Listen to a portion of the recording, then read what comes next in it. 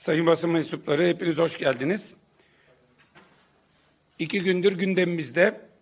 Gündemde olan fotoğraf bu. Türkiye Cumhuriyeti siyasi tarihinin en büyük tükenmişliğinin fotoğrafıdır bu. En büyük acziyetinin fotoğrafı. Bütün televizyonlar canlı yayında. Ülkenin Cumhurbaşkanı ki anayasaya göre tarafsızlık yemini de var. Ve Cumhurbaşkanlığı Külliyesi'nde sarayda partisinin eski il başkanlarını, eski milletvekillerini ve mevcut milletvekillerini bir araya getirmiş. Onlara ziyafet çekiyor, yemek ısmarlıyor. Kürsüye çıkıyor ve diyor ki bu parti sizin evinizdir. Bu çatı altında insan kendi evine sahip çıkmak için davet beklemez. Bu parti dediği yer Cumhurbaşkanlığı Külliyesi hepimizin parasıyla yapılmış. Recep Tayyip Erdoğan'a Adalet ve Kalkınma Partisi'ne en muhalif, onlardan en çok zulüm görmüş, en çok rahatsızlık duyan insanların dahi vergileriyle yapılmış bir yer. Ve orada kendi partisinin il başkanlarına toplantı yapacak acziyette. Şunu açıklıkla söyleyelim. Türkiye için utanıyoruz. Demokrasi için utanıyoruz. Yoksa önümüzdeki dönem iktidara talip olan bir parti olarak rakibimizin bu hallere düşmesinden çok keyifliyiz. Çünkü bunu görüp de AK Parti'de işler yolunda gidiyor diyecek kimse yok. Bu toplantıyı AK Parti Genel Merkezi'nde yapamayan bir iktidarla karşı karşıyayız. Paraları mı yok, bütçeleri mi yok? Ama Cumhurbaşkanımız sizi saraya bekliyor deyip sarayda ağırlayıp saraylarda konuşup oralarda bir güç ve bir çekim merkezi algısı yaratmaya çalışan tükenmiş bir iktidar. Eğer buraya kadar düştülerse buradan sonra daha ne olacak bilinmiyor. Ama Nurettin Nebati bile buranın en dip olduğunu söyleyemez. Daha bunun da dibine düşecekleri kesin. Bu kadar büyük bir aziyeti dün mecliste de elbette eleştirdik. Mevkidaşımız AK Parti'nin grup başkan vekili Sayın Bülent Duran dedi ki sistem değişti buna alışacaksınız. Bunun alışılacak bir tarafı yok. Bu milletin vicdanından teper. Bunun ne hukuki bir zemini var, ne ahlaki bir zemini var, ne de kanunla bunu anlatabilirsiniz. Aklı başında bir müfettiş orada harcadığınız her kuruşun, yaktığınız her elektriğin hesabını sorar. Burnunuzdan da fitil fitil getirir normal bir demokraside. Ama burası bir tek adam rejimi olduğu için alışacaksınız diyor. Buna alışılmayacak. Bir kez biz şunu söyleyelim. Bizim milletimize taahhüdümüz de alışmadığımız ve alışmayacağımız yönünde. Biz geldiğimizde bu işleri tamamen birbirinden ayıracağız. Cumhurbaşkanlığında oturan elbette ki Atatürk Orman Çiftliği'nin böğrüne bir hançer gibi saplanmış kaçak sarayı kullanmayacağız. Ancak Cumhurbaşkanlığında oturan Cumhurbaşkanı orada devlet işlerini yapacak ve o Cumhurbaşkanının bir partisi de olmayacak. Geçmişte varsa da rozeti çıkaracak. Yemini ettiğinden beri tarafsız olacağına namusu ve şerefi üzerine ant içiyorlar. Oradan sonra namuslu ve şerefli bir cumhurbaşkanı olarak asla ve asla bir partiye aidiyeti olmayacak. Bizim milletimize taahhüdümüz budur. Ayrıca Sayın Bülent Turan'a hatırlatalım. Diyor ki alışacaksınız. Ya biz alışmayacağız ama sizde de alışamamışlar. Bakın Manisa milletvekilimiz Adalet ve Kalkınma Partisi'nden Sayın İsmail Bilen Sanayi Komisyonu'nda ne diyor? Eskiden kanun tekliflerini kanunları teklif ve tasarı diye iki bölümde gelirdi diyor. Malumunuz tasarılar hükümet tarafından teklifler de milletvekili arkadaşlarımız tarafından verilirdi. Ancak yeni sistemde hükümet tarafından kanun teklif etmeyi biz maalesef kaldırdık diyor. Maalesef diyor. Niçin maalesef diyor? Şundan maalesef diyor. Çünkü bu kanun tekliflerinin hepsinin sarayda hazırlandığını, hükümet tarafından, yürütme tarafından hazırlandığını, meclise yollandığını ve kendilerinin altına şeklen, usulen imza attıklarını ve bunun bir muazzalı işlem, anayasaya karşı muazza suçu olduğunu o da biliyor. Geçtiğimiz hafta nükleer denetleme kanunun altında imza atanların kanunun neresinden ilgisi vardı? Neresini savunabildiler? Ne yaptılar? Bir yeri hatta boş bıraktılar. Orayı da Cumhurbaşkanlığı kararnamesiyle doldurttular. O yüzden bu sistemin MHP istediği kadar bağırsın. Bu sistemin çarpık, köhne, tutmamış, benimsenmemiş ve asla yürümeyen ve yürümeyecek bir sistem olduğunu artık AK Parti milletvekilleri dahi ifade ediyorlar. Hepimiz biliyoruz. Bakanlar müjde veriyor. Geçen gün çıkmış Turizm Bakanı diyor ki turizm kanunu çok güzel hazırladım. Meclise yolladım. Hatta grup başkan vekillerini aradım. Dediler ki kanun güzel ama siyaseten karşıyız. Vallahi yalan. Beni aradı. Kayıtları vardır bakanlıkta kayıt tutuyorlardır. Dedim ki Sayın Bakan sen bu teklif benim benim diyorsun da hani dedim bu rejimde bu sistemde bakanlar kanun teklif etmiyordu. Sen nasıl bunu diyorsun? Biri arayacaksa kanunda imzası olun arkadaş arasın deyince hakkadık kıkıdık yapıp sonra dedik ya Özgür Bey biliyorsunuz işte falan. Ne biliyoruz işte? Muazzalı bakan. İşin gücün muazza bir de çıkmış bir sabah programında efendim ben öbür grupları da aradım da kanun güzel dediler. Vallahi de demedik billahi de demedik. Külliyen yalan. Dediğim şudur. Senin kanun teklif etme hakkın yok. Beni nasıl arıyorsun dedik. Diğer taraftan da ayrıca ilk teklif olarak buraya ilk gelen kanunları da Damat Albayrak tarafından Kalkınma Bankası'nın kanununu hazırladık meclise yolluyoruz demişti. Ağustos 2018. Baştan sona bir yalan düzenin içindeyiz. Baştan sona bir yalan düzenin içindeyiz ve bunun Adalet ve Kalkınma Partisi ve MHP eliyle bu millete olağanüstü hal şartlarında dayatılmış rejime kasteden bir anayasa değişikliği olduğunun aynen ve kat, katen tescilidir bu. Daha bundan ötesi yok. Seçim kanunu bugün saat 15'ten beri görüşülecek. 15'ten sonra görüşülmeye başlanacak. Hayatı Yazıcı ve Fethi Yıldız. Geçen hafta burada o muhteşem birlikteliği gülümseyerek izledik. Çıkmışlar iki yıl sonra. Fethi Yıldız iki yıl yani üç yıl önce o kanun teklifi geldiğinde o yoktu. Bir Afyon milletvekili vardı onu da yolcu ettiler. Ama Hayati Yazıcı burada. O gün de çok inanıyordu bugün de çok inanıyor.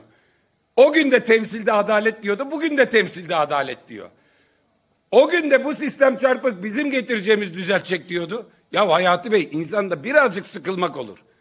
Sen şu an eskiye döndürmeye çalıştığın ittifak önce ittifaklar arasında don sistemi sonra ittifak içinde don sistemini geldin burada anlattın. Doğrusu bu dedin. Temsilde adalet budur dedin. Mevcut sistem bunu sağlamıyor dedin. Şimdi tam tersini söylüyorsun. E sen getirdin kazdığın kuyuya sen düştün. O gün de sana Cumhuriyet Halk Partililer bu yaptığınız değişiklik size fayda getirmeyecek dediniz, dediler. Ama görmedin şimdi çıkmış aynı kararlılıkla aynı lafın tam tersini söylüyor. O günkü mevzu şuydu. Biz MHP ile ittifak olacağız. Olun hayırlısı olsun. İttifak olunca artık oyları toplayıp iki yarımdan bir tam yapar. Öbür partilerden milletvekili çalarız. Nasılsa kendilerinden başkası ittifak yapamaz ya. Kanunu böyle çıkardılar. 60 gün sonra bir baktılar dörtlü ittifak kurmuşuz. Bu sefer artık oylar bizde toplandı daha çok. Ne kadar geniş ittifak kurarsan o kadar artık oy topluyorsun. Kendi kazdıkları kuyuya düştüler. Şimdi diyorlar ki büyük haksızlığa uğradık. Biz bunu kaldıracağız. Sanki biz teklif etmiştik. Kaldırsan ne fayda, kaldırmasan ne fayda. Bugünkü ankete bakıp bir hesap yapıyor.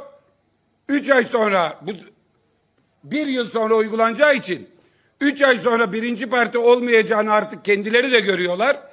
Ve bu işten tekrar kazdıkları kuyuya düşeceklerini bir kez daha burada söylüyoruz. Bakın geçmişte bunu hangi parti yaptıysa yapılan ilk seçimlerde zararını gördü. Çünkü esas mesele şu. Sen milletin zihninden çıktıysan, gönlünden düştüysen, millet seni göndermeyi kafaya koyduysa, sandık oyunlarıyla, seçim kanunu değişiklikleriyle iktidara tutunamazsın. Milletin gönlünden düşen bu meclisten de düşer. Yapılan seçimde başına gelecek, başınıza gelecek budur. Yolcudur Abbas bağlasan durmaz. Bu vakitten sonra ne yaparlarsa yapsınlar kabulümüzdür kardeş. Kabulümüzdür. Getirin her şartta sizi yeneceğiz. Korkunun ecele faydası yok.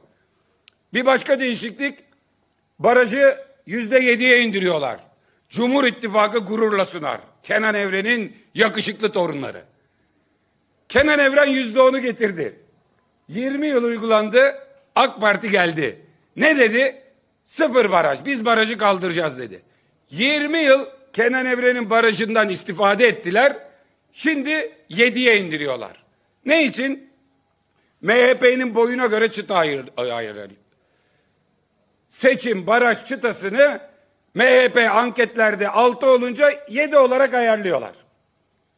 Ama bir yandan da söylüyorlar MHP'nin bu barajı da geçemeyeceğini bildikleri için psikolojik olarak MHP AK Parti'ye muhtaç değilmiş gibi yediği geçecekmiş gibi yapıyor ama bir yandan da hayatı yazıcı böyle yandan yandan söylüyor Fethiye karşı. Orada gördük itişleri kakışları. Ne diyor? Zaten diyor partinin biri barajı geçince öbürü de geçmiş sayılacak diyor. Yani Fethi Beylerin yüzde altılarda, beşlerde, beş buçuklarda olduklarını cümle alem biliyor. Ama MHP AK Parti'ye muhtaç olmasın denmesin diye yediymiş gibi baraj koyuyorlar oraya. MHP'nin geçebileceği kadar alçak, aşağıdaki partilerin erişemeyecek hissiyatını yaratacak kadar siya siyasi mühendislik hesabı. Bu da tutmaz. Biz sıfırı savunuyoruz. Eğer güçlendirilmiş parlamenter sistem olursa üç olsun diyoruz. Ama bu rejimde mutlaka ve mutlaka sıfır olsun. Nasıl yürütme başka türlü oluyor.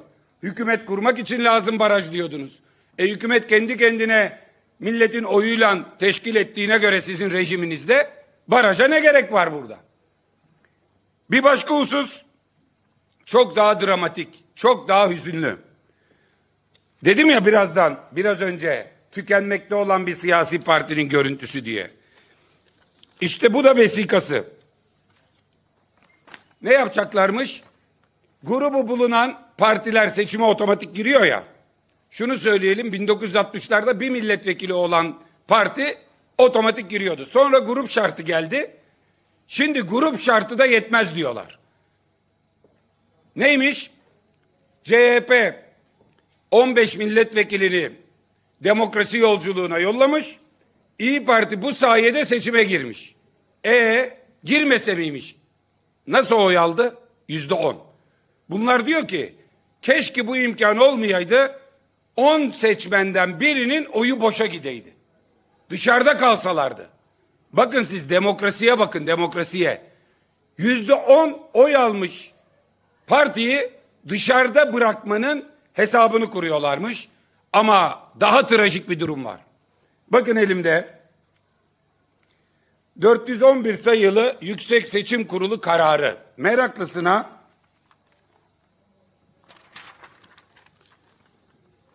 2 Ağustos 2002 tarih. Ne diyor biliyor musunuz burada? Seçimlere girecek partileri belirliyor. Örgütlenmesini tamamlamış partileri sayıyor. Tam 20 tane. Ana vatanla başlıyor, Yurt Partisi ile bitiyor. İçinde AK Parti yok. 41 ildeki örgütlenmesini tamamlayıp kongresini yapıp üstünden 6 ay geçip seçime girme yeterliliği olan partiler içinde yok. Aşağıda grubu bulunan partileri sayıyor. Orada var. Sonuç olarak diyor AK Parti grubu olduğu için seçime girebilir. Hangi seçime? 3 Kasım 2002 seçimine.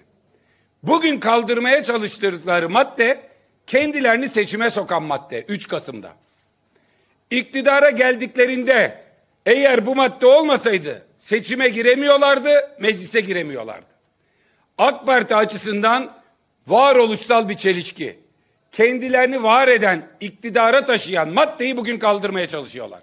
Nereden nereye? Demokrasi anlayışı olarak şuna bakın. Ve bir an için şunu düşünün. AK Parti tek başına iktidara geldiği 3 Kasım seçimleri. Tabii Sayın Devlet Bahçeli'nin mahareti büyük. Millet acı reçeteyi içmiş. Tepki yüksek. Enflasyon yeni yeni düşüyor. İyi sonuçlar alınmaya gelmeden hemen gidelim. Ecevit diyor ki siyasi intihar olur. Hayır gidelim. Kendi baraj altı, bütün koalisyon baraj altı, bütün partiler baraj altı. Burayı iki partili bir parlamentoya getirip AK Parti'ye aldığı oyun iki katı sandalye temin ederek iktidarı teslim ediyorlar. O tarihte bu maddeden giriyorlar. Sayın Bahçeli o zamanlar daha sonra yıllarca AK Parti'ye en ağır sözleri söyledin. Madem öyle bugünkü değişikliği o gün yapaydınız. O gün yapsalardı ne olurdu? Demokrasiye büyük darbe. AK Parti iktidara giderken seçime girme yeterliliğini elinden aldı. Bugün buna AK Parti ile MHP müştereken tenezzül ediyorlar. Bizim için bir şey yok. Ama bu varoluşsal çelişkiyi, bu kendilerini seçime sokan maddeyle kavgalarını sürüklendikleri siyasi çukur açısından görmek lazım.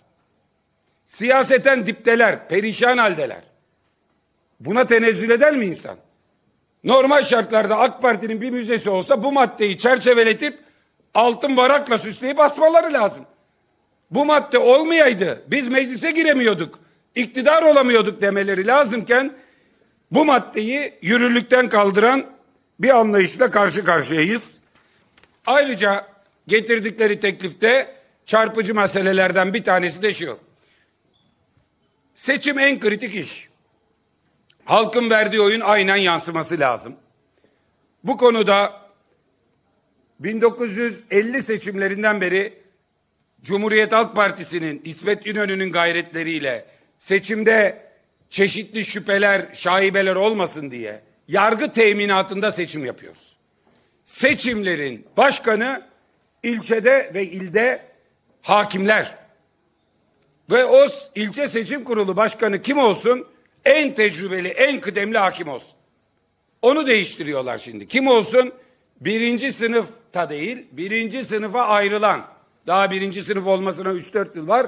Hakimler de torbaya girsin, kura çekelim. Maksat, maksat şu. En kıdemli, en bilgili hakim bazen bunlardan korkmuyor. Çünkü emekli etmek, ihraç etmekle tehditten korkmuyor. Emekliliği gelmiş olabiliyor. Ya da neler görmüş geçirmiş korkmuyor. Veya bunlara bir aidiyeti ya da bir karşıtlığı yok. Kararı kitabın ortasından hukuk ne diyorsa o kararı veriyor. Bunlara o lazım değil ki. Bunlara ne lazım? Hani avukatken paldır küldür hakim yaptıkları AK Parti'nin eski gençlik kolları üyeleri var ya. Onlardan da ilçe seçim kurulu ve il seçim kurulu başkanı yapmak istiyorlar. Bu niyet belli. Biz bu mevzunun ne kadar yanlış bir şey olduğunu her platformda anlatırız da neye tenezzül ettiklerine, neye niyet ettiklerine bir bakalım. Bu bir görülsün. Bu acziyet ortaya çıksın diye söylüyoruz. Bunlar her yönden çırpınışlar. Sandık başındaki oyunlar, itirazlar, hepsi, hepsine hazırız. Ne oldu İstanbul? Ne oldu? Seçimi iptal. Orada sandıkları koruduk. 19 yıl mücadele verdik. Çatır çatır 19 gün mücadele verdik. Çatır çatır mazbatayı aldık. Geldiler seçimi YSK'dan iptal ettirdiler. Ne oldu? 60 gün sonraki seçimi biz gidip sökel alacağız diyorlardı. Ne Soylu'nun hakaretleri, tehditleri, ne Devlet Bahçeli'nin böyle Boğaz Köprüsü'nün üstünde müzikli mehter marşlı gidilleri, mitili atmaya gittiler. iki gün sonra vatandaş yüzlerine bakmadığı için dönüp geldiler. Neden? Çünkü vatandaş dedi ki ben bir karar verdim. Benim kararım size verilince baş tacı da şimdi mi al aşağı? Size olunca milli irade de şimdi mi kirli irade? Oyuma mundar diyorsunuz. Hadi oradan dedi. Yediler demokrasi tokatını geldiler. Fark 806 bin. Beter olacaksınız. Beter. Beter. Bu millete bu zulmü, bu zammı, bu haksızlıkları reva göreceksiniz. Vallahi uykunuzun kaçtığı kadar var Sayın Erdoğan haklısınız. Geceleyin uyanıp uyanıp kendi kulağınıza kendi sesiniz geliyor ya. Doğru. İstanbul'u kaybeden Türkiye'yi kaybeder. Kaybedeceksiniz kardeşim. İstanbul'u kaybettiniz, Türkiye'yi kaybedeceksiniz. Bu kadar net. Uykunuzun kaçması boşa değildir. Hayati yazıcının sizden yediği fırçalar da boşa değildir. O da hak etti ama siz de hak ettiniz.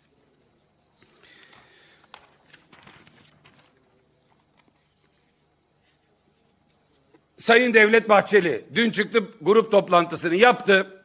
Ağzına geldiğini söyledi. Geçmişte Tayyip Erdoğan'a söylüyordu. Dönüyor şimdi bize söylüyor. Küfrün, hakaretin bini bir para da umursayan kim? Bunu kafaya takan kim?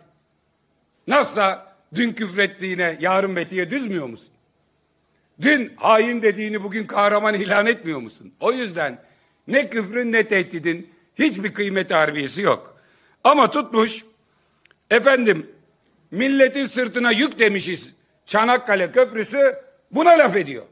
Kardeşim köprü yapılsın yapılacak tabi. 2022 yılında iki yaka arasında köprü olmayıp da feribotla gidip gelen kaç tane şehir kalmış da köprü yapmayacaksın. Tabii ki yapacaksın. Ama devletimizin parasından imkanıyla yapacaksın ve o köprüyü bedava yapacaksın. Tüneli bedava yapacaksın. Almanya'da transit geçen yabancılar otobanlarda gişe mi var kardeşim? Özal'ın yaptığı 7 lira, Tayyip Erdoğan'a yaptığı 77 lira. Böyle iş mi olur? Finansman modeli nasıl? Yap işlet, gelecek kuşaklara borç devret. Gelecek kuşaklara kaldıramayacakları, ödeyemeyecekleri borç devret. Sorun burada. Çanakkale Köprüsü. Çok güzel diyor, çok iyi. Köprünün kendi güzel de. Euro 4 lirayken anlaşma yapmışlar. Euro olmuş 16 lira. Bunların beceriksizlikleri yüzünden. 15 euro artı KDV'de garanti vermişler mi? Bunun üstüne 45 bin araç günde de geçecek demişler mi? Geçsin geçmesin 5 bin araç geçerse 40 bin tane bunlar ödeyecek. 10 bin araç geçerse 35 bin tane. Bunlar derken yanlış anlamayın. Bu imzayı atanlar da bu MHP'yi yönetenler de değil. Maalesef 84 milyon ödeyeceğiz bu parayı. Yıllarca ödeyeceğiz bu parayı. Vatandaş 200 liraya geçecek. Aradaki farkı yine biz ödeyeceğiz. 45 bin araç çarpı 15 euro çarpı KDV'yi milletin sırtına bindirdiler. Buna itiraz edene diyor ki bunun derdi Çanakkale Köprüsü değil Çanakkale Savaşı. Ya Allah. Yazıklar olsun. Biraz vicdan, biraz insaf, biraz utanma. Öyle bir noktadayız ki bizim derdimiz Çanakkale Savaşı'ymış. Ya kim ne tarafta Sayın Bahçeli görmek istiyorsa Numan Kurtulmuş'a sorsun. Biz 150 yıldır karşı karşıyayız diyor. Yani Kuvayi Milliye'ye geliyoruz yine karşımızdalar. Milli mücadele karşımızdalar. Sayın Bahçeli, şimdi kimle ittifak olduğunuza bir bakarsanız siz keşke Yunan kazansaydı diyen Fesli Delikadir'le onun hastalığına gidenlerle cenazesine koşanlarla berabersiniz. O Atatürk'e zerre muhabbet besleyen ne ölüme ne dirime diyordu. İttifak ortaklarınız kuyruk oldular cenazede. Beş bakan sadece. Hastalığına kimler gitti kimler? Kendisi de gitti, Diyanet İşleri Başkanı da gitti. Sen Fesli Delikadir'in tarafındasın. Biz Anafartalar Grup Komutanı Kurmay Albay Mustafa Kemal'in tarafındayız. Siz işgal donanmasına kırmızı halı serenlerle ittifak olmuşsunuz. Kendisini onların devamı gören Numan Kurtulmuş söylüyor. Onlarla ittifak kurmuşsunuz. Valla bizim durduğumuz yer şu. Kartal istimbotunun ucunda ufuk çizgisine bakıp da geldikleri gibi giderler diyenler bu cumhuriyeti de kurdu, bizim partiyi de kurdu. Biz o taraftayız. İnsanda birazcık bu sözleri söylerken günlük siyasi mülazalardan farklı bu Çanakkale Savaşı'na CHP'liler ne diyor? Yıllardır onların karşısında olan bu siyasi akım ne diyordu diye Atatürk'ün adını anmadan Çanakkale anmaya çalışanların Çanakkale'deki alan başkanlığında Atatürk'süz Çanakkale anlatanların ittifak ortağının ettiği lafa bakın. Bir de Türk Tabipleri Birliği. Tutmuş tutturmuşlar TTB kapatılsın. Kardeşim TTB dediğin Türk Tabipleri Birliği. Neredeyse her ilde odası var. 101 bin doktor üyesi var. Bu doktor üyeler oy kullanırken böyle kırbaç altında oy kullanmıyor. Kendi özgür iradeleriyle bir pazar günü gidiyorlar, cumartesi kongre yapıyorlar, pazar oy vermeye gidiyorlar. Sizin gibi anayasa değişikliğinde milletvekiline güvenmeyip atmadığı pulları arkada Arzu Hanım'a da toplattırmıyorlar. Gidiyorlar kabine girip oy veriyorlar. Kendi odalarının başkanlarını, yöneticilerini, delegelerini seçiyorlar. Onlar da gelip Ankara'da Türk Tabipleri Birliği'ni seçiyorlar. Sen çıkar Kurt Tabipleri Birliği'ni kurmak istiyorsan çıkar milliyetçi doktorları liste yapsınlar. Zaman zaman yapıyorlar. Kim kazanırsa o yönetiyor. Şimdi en demokratik şekilde seçilen 101 bin tabibin temsilcisi niye kapanıyor kardeş? O zaman AK Parti kapatılsın diyenlerden biri çıksa MHP kapatılsın diyenden ne farkın kalır? Darbeciden ne farkın kalır? Bütün siyasi partileri kafatan Kenan Evren'den ne farkın kalır? Kapatacaksa Türk Tabipleri Birliği'ni doktorlar kurdu. Kapatacaksa doktorlar kapatır. Değiştirecekse doktorlar değiştirir. Hastalanınca hastaneye düştüğümüzde hepimizin derman beklediği kişilerin anamızı babamızı tedavi ederken kararlarına Allah razı olsun. Pazar günü kimi yönetecek diye seçiyorlar. Sen seçemezsin ben orayı kapatacağım. Böyle saçmalık olmaz. Son nefesimizde hiçbirimizin yanında ittifak ortakları olmayacak. Yine bu laf söylediğimiz sağlık emekçileri olacak. Çoluğumuzun, çocuğumuzun, büyüğümüzün, kendimizin hayatı bunlara emanet. İttifak ortağından aferin almak için önüne gelene saldırmanın da hiçbir iler tutar tarafı yoktur. Vedat Bilgin yeni bakanlarımızdan bakan olur olmaz hemen dili Cumhur İttifakı'nın diline uymuş. Askeri ücret tartışmaları yapılıyor diyor. Bunları anlamlı bulmuyormuş. Sayın Bakan, insanların emeğini savunmanın, alın terini savunmanın, alın terinin karşılığını talep etmenin daha anlamlı bir tartışma ne olabilir bunlardan? Bunun neresi yanlış? Bir başkası Türk İş'in Sayın Genel Başkanı Ergün Atalay. Diyor ki asgari ücreti aralıktan aralığa konuşuyoruz biz. Konuştuk bitti seneye aralığa konuşuruz. Ya böyle şey mi olur? Biz 6 ayda bir belirlensin diye kanun teklifimiz vardı. Yetmedi. 3 ayda bire düşüren yeni teklifimizi verdik biz. Neden? Çünkü asgari ücrete yüzde 47 buçuk zam yapıldı. Zam yapıldığı günden bugüne yüzde 32.3 enflasyon. Sadece bugün için zam 1428 lira, enflasyon 1037 lirasını yutmuş. Şu an itibariyle. Bu ayın enflasyonu açıklandığında bir senelik zam havaya gitti. Ergün Atalay bu durumda sizin söylemeniz gereken Sayın Başkan, ey hükümet, örgütlenmeden gelen gücümle benim sendikalarıma üye olan, konfederasyonuma bağlı sendikalara üye olan emekçinin hakkı için gelin kardeşim oturalım. Bu üç ayda ortadan kalkan erimeyi, ortadan kalkan zammı telafi eden, erimeyi yerine koyan bir görüşmeyi derhal yapalım demen lazımken seneye aralığa kadar rahatsınız diye nasıl bunlara açık çek veriyorsunuz? Olmaz başkan olmaz. Olmaz. Hani arada böyle konuşuyoruz konuşuyoruz. Olur olmaz şeyler yapıyorsunuz. Kırıyorsunuz, döküyorsunuz bizleri ama helallik istiyorsunuz veriyoruz. Hakkını helal et edelim kardeşim. Ama bak burada işçi hakkını helal etmez ha. Biz hakkımızı helal etsek ne? İşçiler hakkını helal etmez. Yapmayın bunu. Sonra Haziran'da çağırırlarsa keyifle giderim demiş. Bir kere onlar çağırırsa gitmek değil. Sen onları çağıracaksın. Onları Haziran'da değil, Mart'ta, Nisan'da masaya çağıracaksın. Hazirandan öteye kaçış yolu bırakmayacaksın.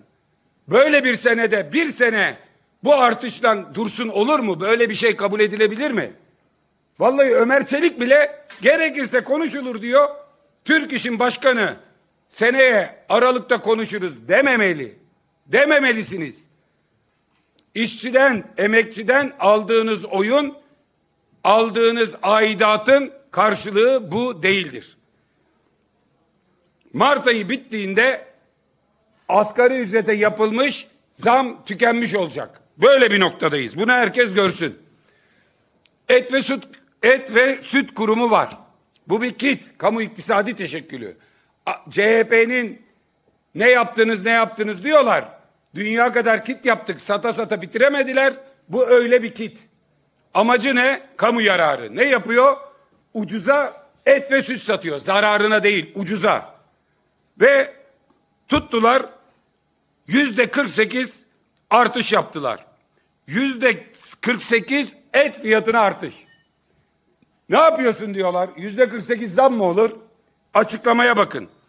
Ucuz satıyorduk. Çok uzun kuyruklar oluşuyordu. Bu nedenle biz fiyatları arttırdık. Aynen. Genel müdürünün ağzından tırnak içi. Ucuz satıyorduk.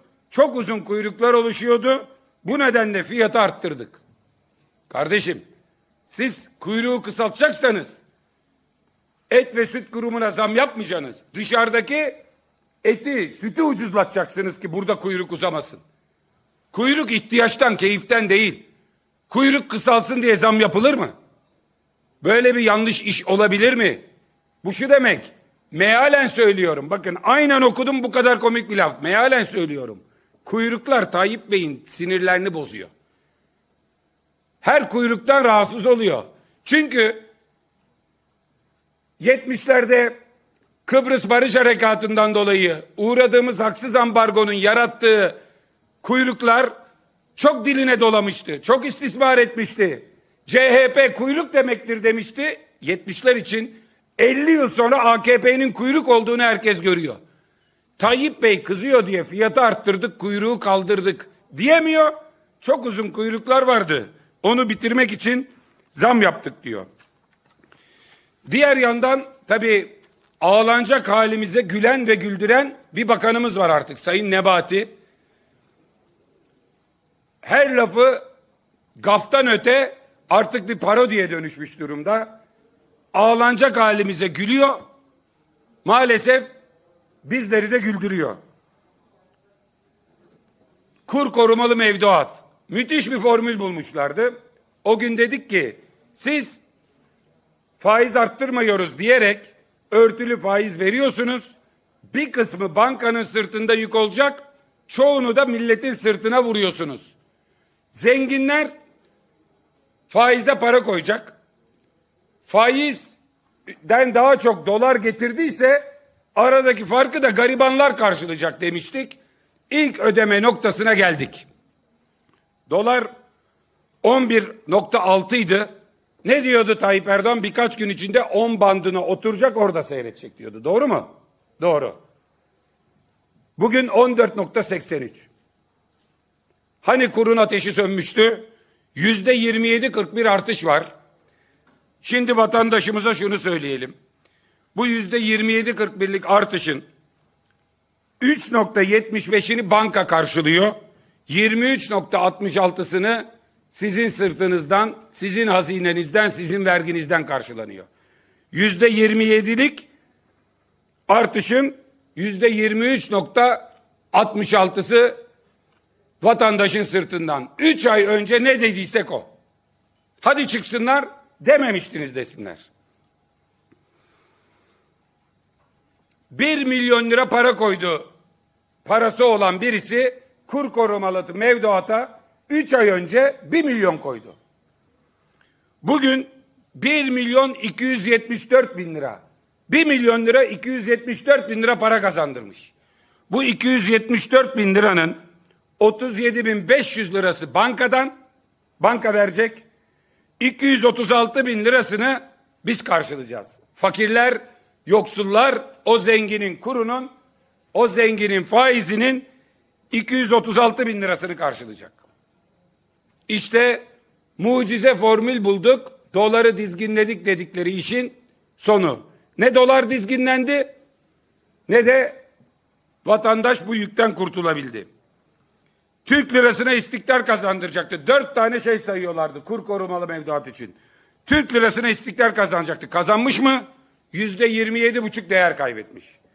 Enflasyonu düşürecekti bu yöntem. Düşmüş mü? Başladıkları gün yüzde yirmi birmiş enflasyon. Bugün yüzde elli dört nokta kırk dört. Üç, Merkez Bankası'nın brüt rezervlerinin hızla arttığını görecektik. O gün 117 milyarmış, bugün 109 milyar. O da düşmüş. Hem de kur korumalı mevduat kapsamında yaklaşık 23 milyar dolar gelmiş olmasına, ihracatçıların dövizlerinin yüzde 25'ini Merkez Bankası'na satmaya zorlanan karara, reiskont kredilerinin 4 milyar dolar gelmiş olmasına, hazinenin 3 milyar dolar dışarıdan borçlanmış olmasına rağmen bunları üst üste koysan 80 milyar artması lazım. 8 milyar lira düşmüş. Ve Nurettin Nebati yatırımcıların kur korumalı mevduattan çıkmasına gerek olmadığını çünkü Türk lirasının değerinin en düşük durumda olduğunu bundan sonra inecek bir yer kalmadığını söylemiş. Gerçekten bir yandan acı adı gülümseten, bir, yazı, bir yandan kendi halimize mi acıyalım, bir bakanın düştüğü bu hale mi acıyalım, bunu düşündüren bir tablo. Üç ay önce ne diyordu beyefendi? 10 lira, 11 lira 6 kuruşken ne diyordu beyefendi? Kurdaki köpüğü aldık, müsilajı temizledik, bundan sonra artış beklemiyoruz. O dediğinden beri yüzde yirmi yedi buçuk artmış. Hani köpük gitmişti, hani müsilaj temizlenmişti? Bugün dediğin söze nasıl güvensin? Üç ay önce sana güvenen insanlar. Ve Nebati'nin son incisi, son incisi. Ukrayna-Rusya savaşına rağmen Türk parası değer kazandı diyor. Bakın 22 Şubat tarihinden bugüne kadar Türk lirası bir ayda yüzde yedi değer kaybetti. Kazanmadı. Dünyada en çok değer kaybeden para Rus rublesi Ondan sonra Türk lirası. Ukrayna parası bile aynı sürede yüzde 1.8 değer kaybetmiş. Türk lirası yüzde 7. Nebati'ye inanırsan, araştırmazsan, sadece onun söylediklerini duyarsan bu büyük yalanla kandırılırsın. Rusya Ukrayna savaşında Türkiye parası değer kazandı diyor. Oysa yüzde yedi değer kaybetti. Dünyada en çok Rusların parası sonra bizim paramız değer kaybediyor. Saldırı altındaki Ukrayna'da bile yüzde 1.8 bizde yüzde 7. Bu kadar açık yalanı bu kadar göz içine baka baka kıkırdıya fıkırdıya millete atmanın artık şakayla espriyle kaldırılır tarafı yok. Yalan gülerek atılınca ne masum oluyor ne de insanları kandırmasının vebali üstünüzden gitmiş oluyor. Bunu da Hepsi böyle bilsin. Son sözüm Haydar Akın okul müdürü Mithatpaşa Ortaokulu'ndaki öğretmenlere Osman Gazi Kaymakamlığından okul müdürü imzasıyla öğretmenlere diyor ki 22 Mart 2022 tarihi itibariyle tüm sınıflardaki oturma düzeninin erkek öğrencilerle kız öğrenciler ayrı ayrı oturacak şekilde. Bahsettiği öğrencilerin en küçüğü dokuz buçuk yaşında, en büyüğü on üç buçuk yaşında. Bugün gelen yoğun toplumsal tepki yüzünden beyefendi hakkında soruşturma açmışlar.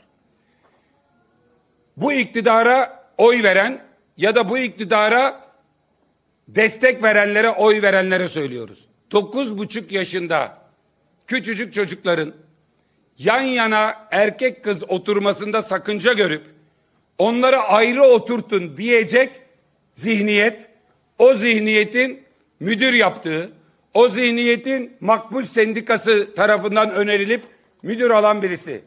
Buna şeklen soruşturma açıyorlar. Milletimiz gerçek soruşturmayı AK Parti ve onun zihniyeti hakkında açmalı. Bu soruşturmanın sonucunda bunların defterini sandıkta dürmelidir.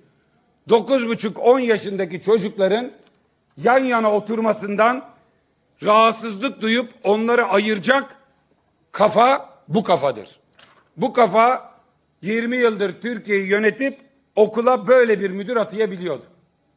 Bugün yaptıkları şekli soruşturmanın vatandaş nezdinde hiçbir kıymeti yoktur. Bugüne kadar bu adamları buralara getirip bu çocukları bu kafalara emanet edenlere yazıklar olsun. Benim söyleyeceklerim bu kadar. Soru varsa yanıtlayalım. Teşekkür ediyoruz. İyi çalışmalar diliyoruz.